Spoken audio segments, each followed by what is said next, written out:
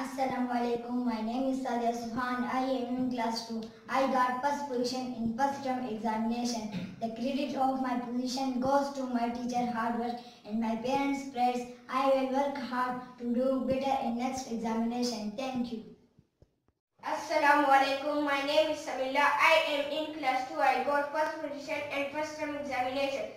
The credit of my position goes to my teacher hard work and my parents' prayers. I proud on my Thank you. Assalamu alaikum. My name is Bilal. I am in class 2. My school name is Al Falah School.